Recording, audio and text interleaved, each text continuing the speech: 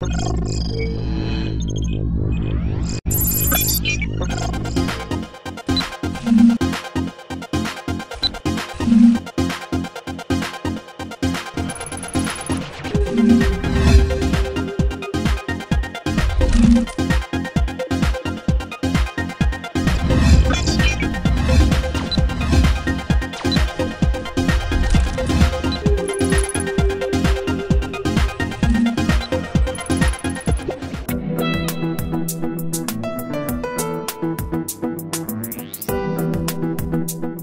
Desplazarse con libertad y sin impedimentos por un sendero o una calle, leer un libro, admirar la naturaleza en todo su esplendor, son acciones comunes y accesibles para la gran mayoría de las personas.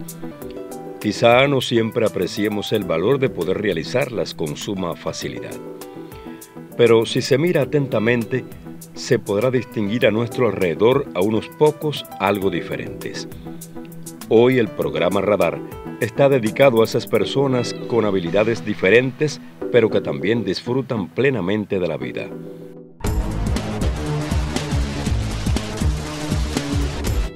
En cualquier momento de la vida, las personas son susceptibles a la disminución de capacidades físicas, mentales, psicológicas y sensoriales. Estas carencias crean una condición de desventaja con sus semejantes y les dificulta su integración plena a la sociedad. Es por eso que en las sociedades modernas se promueve y se promueven leyes, investigaciones científicas y facilidades tecnológicas orientadas a promover la equiparación de oportunidades por parte de las personas con discapacidad. Cuando hablamos de discapacidad estamos hablando de las personas que tienen discapacidad auditiva, eh, visual, eh, discapacidad intelectual, discapacidad físico-motor, de los niños autistas, de las personas que presentan autismo, de los que tienen problemas del lenguaje, eh, trastornos de la conducta. Todas esas personas eh, se eh, comprenden personas con discapacidad. En el mundo hay más de 500 millones de personas con discapacidad y 300 millones viven en países subdesarrollados. De estos apenas el 1% tiene acceso a la salud básica, la educación y servicios de saneamiento. Por suerte en Cuba esta situación es diferente. Y aunque no todas las personas con discapacidad tienen cubiertas la totalidad de sus necesidades materiales y espirituales, el Estado promueve acciones para lograr mejoras significativas en la calidad de vida de estos compatriotas. En este sentido, la aplicación de las herramientas que proporcionan las ciencias y la tecnología resultan fundamentales e imprescindibles. Desde las diferentes discapacidades se atienden desde la ciencia, tienen un basamento científico y eh, día a día se profundiza un poco más para eh, eh, conocer y ampliar la atención a todas estas personas que tienen discapacidad. Un primer paso importante para lograr la equiparación de oportunidades de las personas discapacitadas consiste en el diagnóstico acertado, temprano y oportuno de las discapacidades. El niño desde, desde pequeño, la salud es quien se encarga de, de diagnosticar algunas discapacidades que son evidentes. Ya cuando el niño ingresa a la escuela, eh, hay un equipo multidisciplinario que es el Centro de Diagnóstico y Orientación que a través de los, los signos de alerta va eh, reuniendo toda la información necesaria y ya eh, realiza un diagnóstico que en este caso son los niños que tienen discapacidad intelectual, los que tienen alguna discapacidad auditiva que los padres aún no lo han detectado, ya el Centro de Diagnóstico de Orientación, los que tienen algún trastorno del lenguaje. Una vez completado el diagnóstico, la persona con discapacidad tiene el derecho a recibir los beneficios de una atención integral.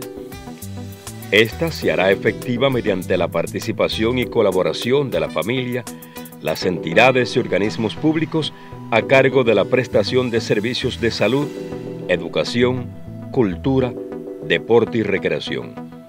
Además deberán contar con los beneficios de la protección jurídica y el acceso al trabajo y la seguridad social.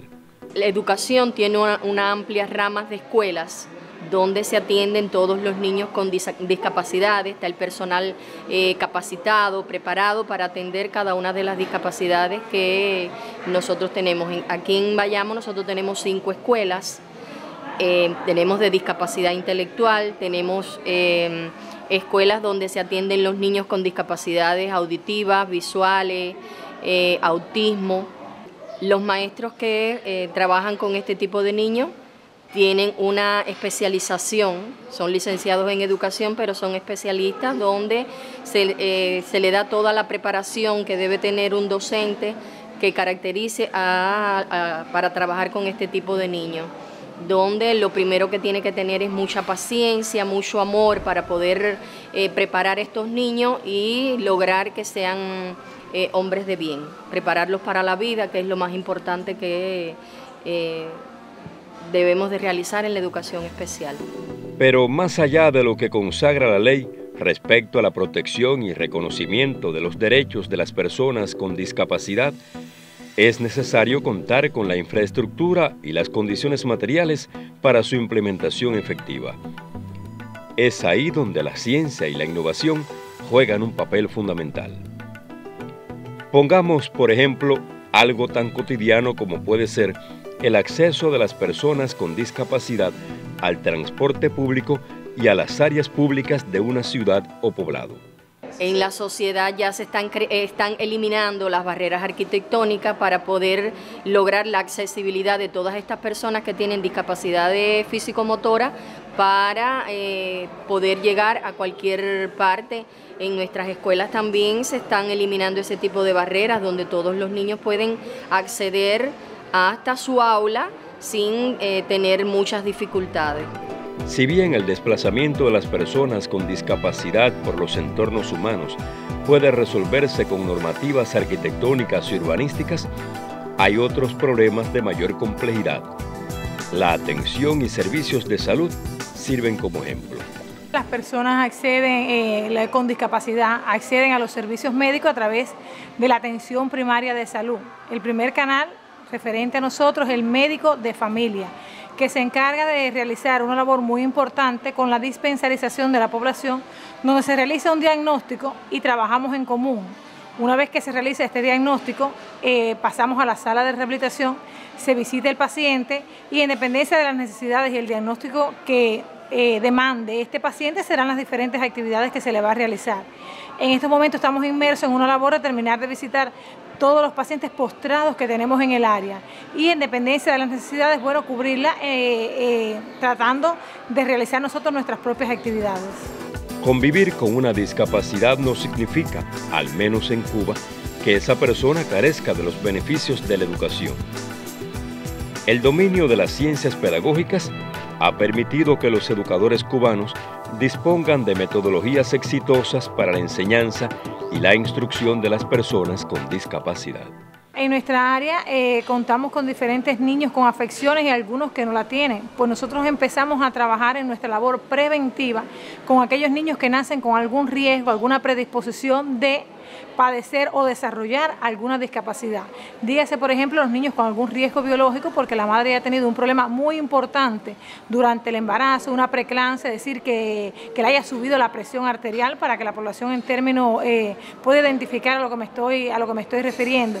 Que durante el parto el niño haya sufrido algún problema por una hipoxia severa en la nacer, que le haya faltado eh, por algunos momentos oxígeno al cerebro y esto pueda repercutir en la vida eh, futura de este pequeño o algunas otras alteraciones que sean hijos de madres diabéticas, madres hipertensas o con algunas otras afecciones crónicas que hayan transcurrido con alguna descompensación y pudiera tener alguna secuela en el pequeño. En este caso estamos hablando de niños que no son enfermos, pero que sí es importante esta labor preventiva y de promoción que realizamos con la estimulación, con todas las etapas, con todos los hitos del desarrollo que tiene el niño, eh, tratando de adecuar el desarrollo del sistema nervioso central que comienza desde que nos formamos para que este niño tenga eh, un desarrollo, tenga, pueda realizar las actividades normales que debe realizar un niño de su edad, es decir, sin que este niño tenga ningún retraso.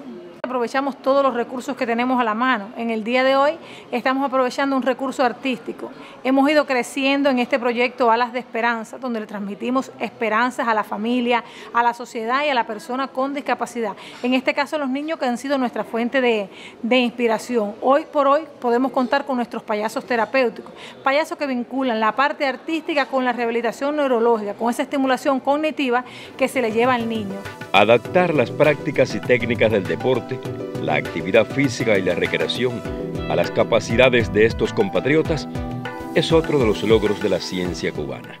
La rehabilitación neurológica tiene muchas aristas debe de tener un enfoque multidisciplinario con varios especialistas que vinculen la parte de la rehabilitación física y la parte de la rehabilitación neurológica y cognitiva. Nosotros aprovechamos todos los recursos que tenemos a la mano. Por tanto, pudiera ponerle algunos ejemplos como los recursos naturales. De ellos tomamos el caballo. En nuestra provincia se encuentra también el proyecto Amigos del Corcel de la equinoterapia, donde se vinculan niños de las diferentes áreas de salud y, y también de las diferentes escuelas especiales, que aprovechamos en este contexto en esta área es maravillosamente natural. Pues aprovechamos todas las diferentes texturas que tienen la, hierba, los árboles, los colores, para la estimulación cognitiva del paciente.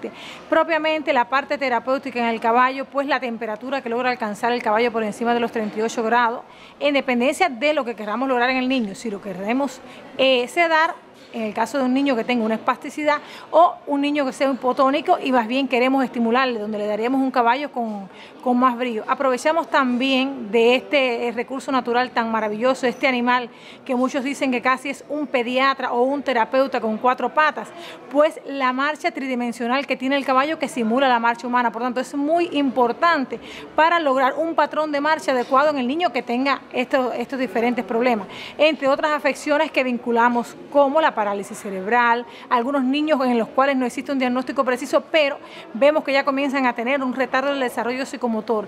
Y en esto es muy importante, muy, pero muy importante el llegar tempranamente. Por tanto, la estimulación precoz es imprescindible para tener los mejores resultados.